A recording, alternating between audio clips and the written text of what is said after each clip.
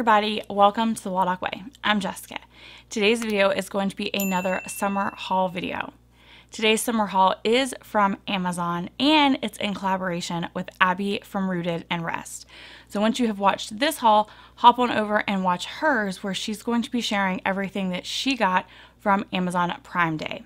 Now my haul is going to be a little bit of a mixture. It's things that I intentionally purchased just because I wanted them for back to school things I purchased during the buy two get the third free sale, as well as things that I purchased during Amazon Prime Day. So it's kind of going to just be an Amazon smorgasbord of back to school homeschool goodness, and I hope you enjoy it. Now, before I show you all these goodies, I wanted to remind you that each of these summer hauls has a coordinating giveaway that goes with it. Now, last week's was exclusive to Instagram, and this week's is exclusive to you guys here on YouTube. So stay tuned till the end, where there will be a announcement of what the giveaway is going to be, and there will be two winners. So good luck, you guys. Okay, I am just gonna jump in because the tables and chairs are literally surrounding me with just all kinds of stuff. The first thing I picked up was this fraction flip book. So you have the fraction, the decimal, the percentage, and then a shape. And you can just kind of flip through to try to match them. And I knew I wanted her um, to start experimenting a little bit more with the like you know shape and the or the decimal and the percentage that match the fraction and I thought this would be a fun way to do it kind of hands-on and then you can see it's double-sided so you can go back the other way too. I just thought, you know, anytime there's a hands-on component, she does a lot better with it. And this was a way to do that. Along those same lines, I got the place value flip chart. Now we've had one of these before that only went up to um, thousands. I don't know which direction this goes. Okay, this way. So up to thousands. And I wanted something that went up to um, millions and this does that. So this one will go all the way up and we can you know start working with very very large numbers. She should be pretty good with it but I just thought it wouldn't hurt to have it because the one that we have does only go up to thousands. So we're going to upgrade to the one that goes up to millions now um, most of what I got is books and games, you guys. So I'm going to just try to get the few things that aren't books and games out of the way. I also picked up the Brain Quest fourth grade. This is the trivia card deck. There's normally two trivia card sets in here, a deck one and a deck two. And it just asks questions. Um, each card has questions about science, English, math, miscellaneous, U.S. history, geography, science, English, math, miscellaneous. So they just go over and over, and there's questions and answers on them. Um, we have used these for years now. I don't know that we've ever really gone from like the very first card to the very last card, but I like having them on hand. They're really good for car schooling too. She likes to do trivia in the car. They're just a great resource, so I like having those. The other thing I picked up was totally for me, and it was because I never realized that FriXion did this. These are the FriXion Fine Liner markers, pens, whatever you want to call them. They remind me of a Papermate Flair because it's a little bit thicker than your standard um, like ballpoint pen. They are erasable, like all of the FriXion. And I have these in a set of like 24 with beautiful colors, but I find that my black runs out quicker than anything else and I don't necessarily need to replace all the other colors. And so I found that they now sell a box of 12 just black. So I actually think I bought two boxes of these because they go to gray so quickly or they turn to gray so quickly and they're not that crisp black anymore. And I'm weird and anal and wanted them to be crisp black. So I bought two boxes of those. I also picked up the Handwriting Without Tears was on sale during Prime Day. It was actually a pretty good sale. I think it was like 20 or 30% off. So these are the last two books that we did not own yet. Um, cursive success and cursive handwriting. I have no idea which one comes first. I don't know which grade levels are which. Um, I'm not forcing her to do them. This is not like curriculum choices stuff. I actually have had the first Handwriting Without Tears book since she was in kindergarten. She cried, I put it away. It ended up in my office on a shelf. We've never pulled it back out until a few months ago when she wanted to do more handwriting. So I pulled it out for her and she has flown through two the two printing books and has now moved up to like cursive kickstart or whatever it is. So she's doing cursive now. So I bought these just so I have them on hand. If she chooses to go through them, if she, you know, gets to that point, they'll be here. If she doesn't, well, then they'll be here for whenever she decides that she wants to pull them off the shelf like she did the printing book. So that is what I got those for. Um, I also picked up the Learning Resource Mental Blocks. This was on sale on Prime Day, and to be honest, I've always wanted this, but it's a little pricey or is normally a little pricey in my opinion, for what I will pay for a single player game. Um, we just have so many good ones already. I'm not going to pay an astronomical amount for one. And it was at a really good deal. So I picked this up. I love when single player games come in like their own little self contained thing. It makes them really great for throwing in my purse or car schooling with. And this one did all of that. So it will be really fun to add um, to a lot for logic and critical thinking for her. All right, you guys, this is so hard. I have games on one side of the table and I have a books on the other side of the table, and I don't know which ones I want to show you first. Oh, the dilemmas. All right, we're just going to go with books. So, like I said, I think every one of these was either purchased during Prime Day or the buy two, get the third free. I'm almost positive it was all buy two, get the third free. Uh, the first book series I found was a book series called Case Closed. These are super fun. We haven't read them yet, but I'm really excited because they're a pick your path, crack the case. So you get to a certain point in the mystery, and then you have a choice of what you're going to do next.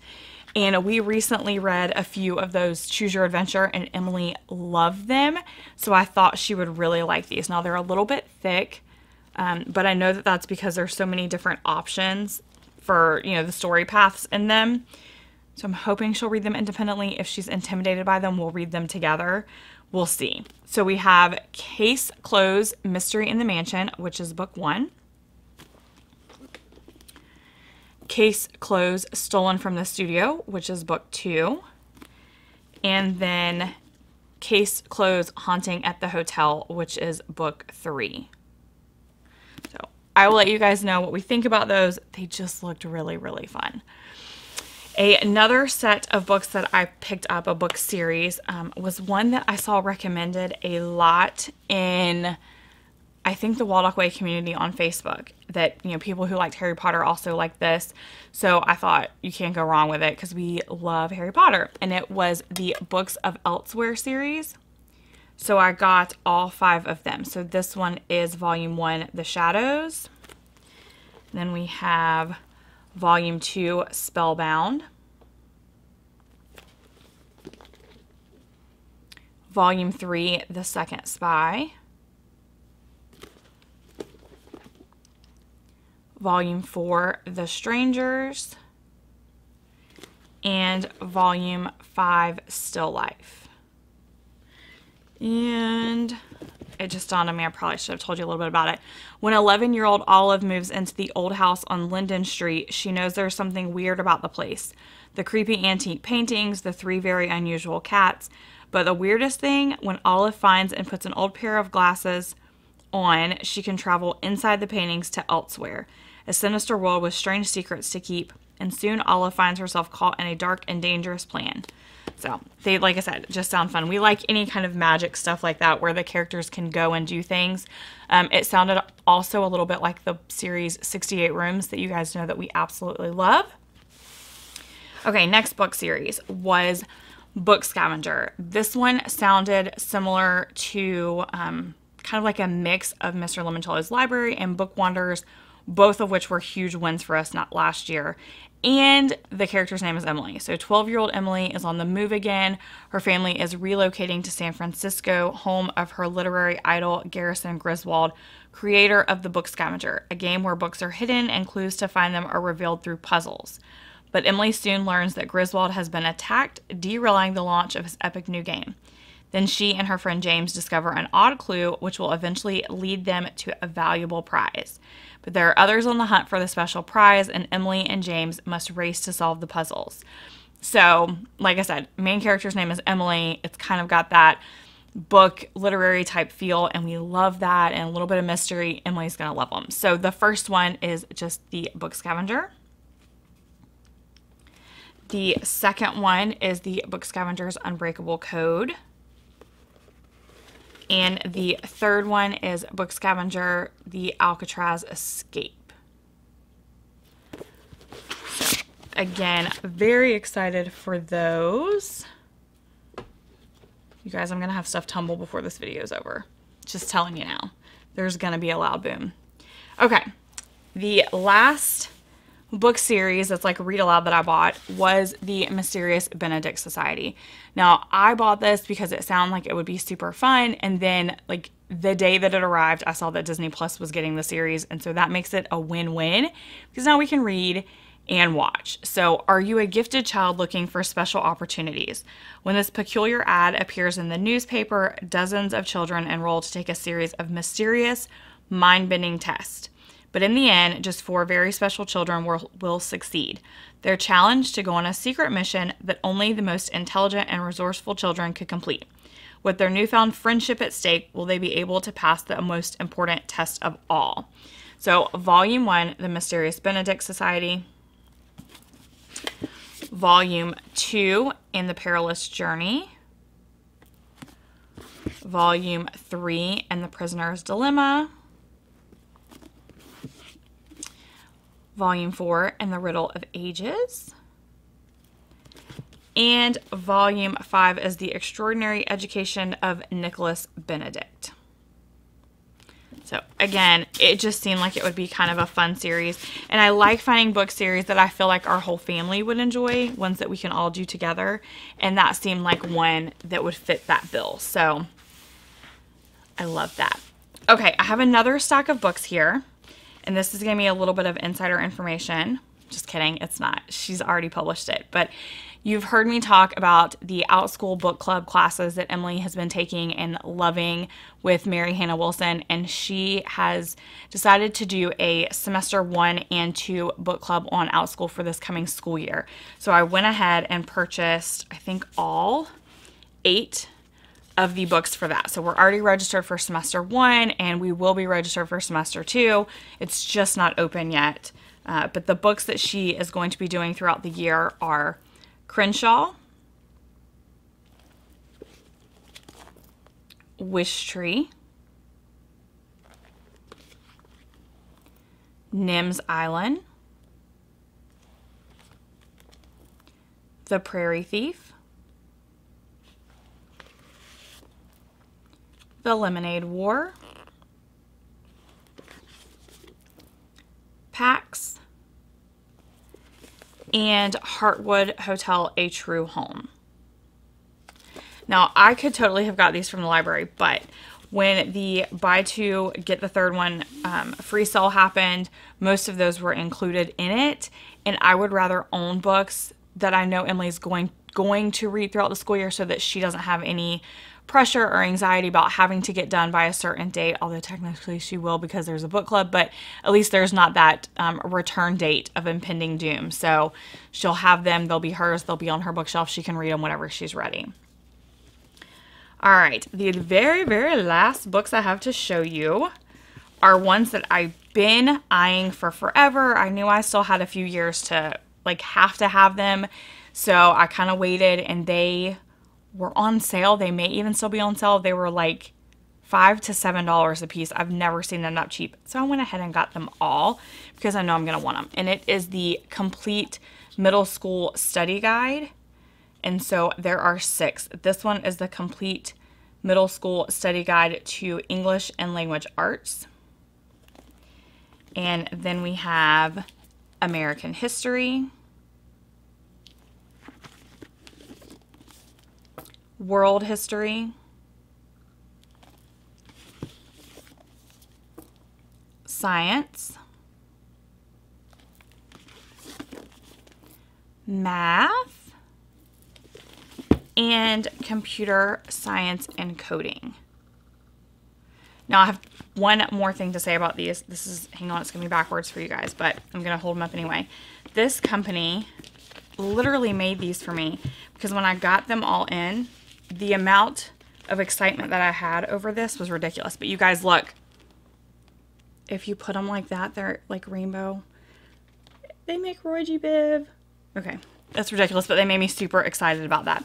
Now let me show you inside one. So it is set up in a way that's just kind of fun and graphic and exciting for kids. And then something I really liked is that at the end of each kind of section or chapter, there are these little check your knowledge, like eight to 10 questions.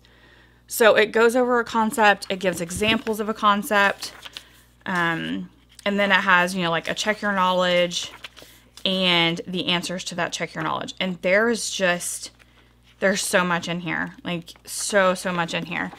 And there, I haven't been able to find a ton of resources like this for middle school. So I thought I might as well just go ahead and add these to our collection. And I saw when I was checking out that they also have a high school set of these too. So if you have an older kiddo, they have a complete high school study guide set. I'm not sure which all subjects they have, but I know they have high school. So that might be something you want to look into because it's a really great way to kind of use resources and piece your way through and not have to have curriculum if that's not your thing. All right, let's jump into the games. The first one I have is Battleship Outer Space. If you saw the Simply Fun video, you heard me say that we are going to be doing a very large astronomy unit study, and Battleship is one of Emily's favorite games, and this looks much more advanced, a little bit more complicated, but also a lot more fun. Plus, I can just see her sitting there with her um, space helmet on playing the game, and that just kind of made me giddy thinking about it. So, Battleship Outer, Outer Space. Uh, periodic, the game of elements. Again, Kevin requested a few more, you know, science games, so this was one that I picked out for them, as well as the Science Ninja Valence. Both of those work with um, chemicals and compounds. And then this isn't a game, but this is also one of his requests during Prime Day. Probably his only request during Prime Day. And it is a rock tumbler. Now we got the hobby edition because I have no clue what we're doing. I didn't even know we needed a rock tumbler, but apparently, according to him, we do. So they got a rock tumbler. Okay, let's see here. Seriously, you guys. All right, most of these games are either they're most of them are really just upgrading games that we already have and that we love and we're just kind of moving on to the next level. So, Apples to Apples Express. We have Apples to Apples and we like it, but it's a little cumbersome for just the two of us or three of us. So I thought maybe we would try Express, which would be like a quicker um, quicker gameplay and quicker setup and maybe we would play it more often. At least that's my hope. Mad Libs, the game. You guys know we love Mad Libs, and I think Emily is finally old enough, even though it says 10 plus, to understand and play it. So I decided to add it to our um, resources this year. STEM Family Battle. Now, we actually already played this. We played this just the other day, and I will say it was a lot of fun. It says ages 12 to adult, and I will tell you why. I actually even think um, while kids can totally play it, some of the questions, even me and Kevin were like, wait, what? Let me see if I can find one. Um, anyway, I, I'm not gonna be able to find it, but like it referred to a floppy disk for technology. It's not all that dated, but some of it is. And so your kid, if they're like as young as Emily, had no clue what a floppy disk is. She's never even seen one. She has now, but before we played the game, she hadn't. So it is really fun because there's a ton of rabbit trails you can go down when you play it because it's like a trivia based game, but it's a lot of fun type of trivia. You're kind of battling and answering questions and it really was a joy to play that together and the laughs that we had was hysterical. So there is that one. Um, Millborns, I'm sure I'm saying that wrong, you guys, but it is a mile game. Whoever gets to a thousand miles first wins. It is a classic racing game. I actually remember playing this as a kid. Um, this and Rack-O, I have very fond memories of. So when this one went on sale for Prime Day, I grabbed it. Um, I'm not really sure that it really hits any of our goals for fourth grade, but who cares? It was fun and it's nostalgia, so we're just going to call it that. How about that? Uh, read my list. This one kind of, when I read the description, it kind of made me think of Blurt and some of the others that I got from Simply Fun. Um, I want to work more with her on like vocabulary and categories and writing. And so this fit the bill for that because there are list cards and you pull the list out like types of drinks. And for instance, it has punch, cola, chocolate milk, lemonade, hot chocolate, grapefruit juice, and water. And you have to listen to it and guess the category of the you know what it is which is types of drinks. And then the lightning round is you take turns naming things that fall into the specified category like that aren't listed. For instance milk apple juice coffee. Now i am going to have her write those possibilities. I talked to you guys before in the last video about the little mini boogie boards that we bought and i am using those because they're adorable for everything and she loves them to sneak in some extra writing, which also means spelling. So instead of just yelling those words out, I will be having her write them. So we'll be reading it, talking about vocabulary words, categories, and sneaking in some writing that way. Kind of the same thing with the May the Best List Win listography game. This one has writing built in already. It comes with paper and pencil. Um, you are basically racing to create lists based on a range of topics from geography to pop culture to pirates to pizza. So, again, vocabulary, spelling, writing. I am trying to upgrade a lot of our games to those types of things for language arts so that we're expanding beyond just the typical, um, like gram like basic grammar and spelling games. And another one that I'm doing that with is grasping grammar. So this has eight, all eight parts of speech in it. A lot of the I guess younger games only have like your standard four. And since this had all eight, I wanted to make sure that it was on our shelves so that we could be working with that for grammar. And I think this is the last language arts game. No, it's not, you guys, but we're getting close.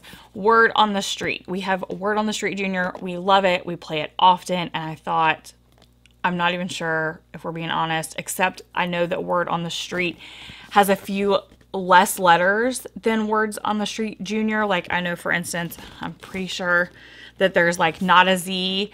Um, but this upgrades the game from the junior one. And I thought it was probably time that we should do that. So that's what we're doing uh, word around, race to unravel the word. This has these cards that have a whole bunch of letters on them and you're racing to try to figure out what the word is on the card. So again, that one's going to be a ton of spelling. Um, and I'm sure vocabulary, because I'm sure there's going to be some words that we'll have to define and talk about. But it's you flip a card and be the first to read the word, you know, by unraveling it. So I thought that would be a really fun one. This one is a very educational one, but again, it's going to be helpful with spelling, and it's just called Spelled. Um, it is by EduPress, and these just have like kind of like spelling based trivia questions. I just thought this would be kind of a fun thing to do a few a day. We can maybe put it in our bedtime basket, put it in the car for car schooling. I don't know for what, but it just seemed like a better way for Emily anyway, to do spelling than like a typical spelling memorization and checklist. Again, like I said, that's Emily. I'm not saying that everybody should do that. Um, the last few games I have are math games, and I really didn't get that many because when I looked at our shelves, we had most of the topics that I wanted us to do this year covered with games between this and the Simply Fun order I placed and Lakeshore Learning. So the ones I picked up are Proof and Adsumandi, I'm going to say. And both of those are just fun card games, but they extend the math to all four operations. I found that a lot of the things that we had were either addition and subtraction or multiplication and division or they were like just multiplication. And there wasn't a lot of things that we had on our shelves that did all four operations equally with the exception of Prime Climb, which has been one of our favorite math games this past year. And I think that's why. I think it's because you know you're doing all of the different operations or you have the ability or option to do all of them.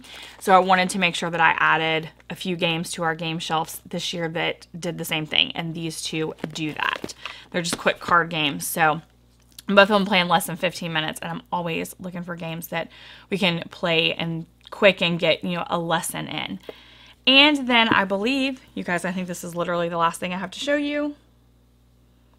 It is, it is called Mathological Liar. It is also by EduPress.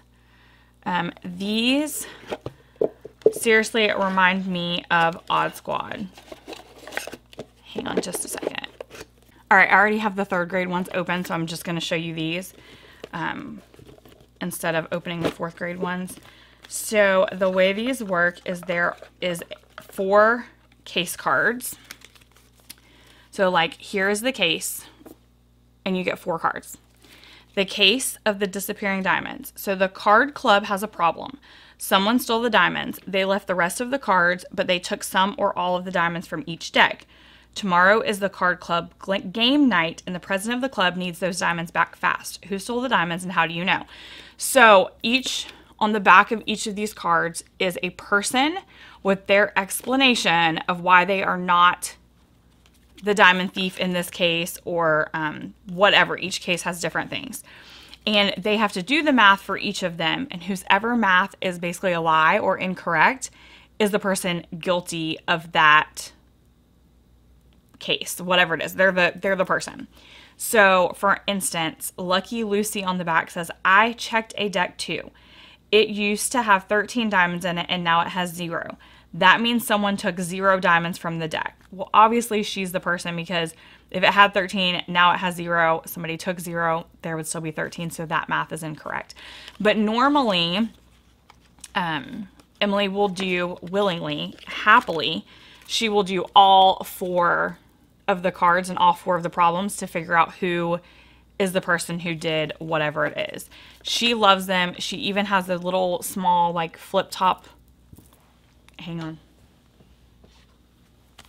A little flip top notebook, just like they use in Odd Squad, because she thinks it's super cool that she is solving math cases like them. She loves that show. So these make math fun for her. So if you have a kiddo who loves Odd Squad, go pick them up a notebook from the Dollar Tree, and then get the Mathological Liar. I think it comes in second, third, fourth, fifth grade. It may even come in sixth. It may come in younger. I know I saw third, fourth, and fifth.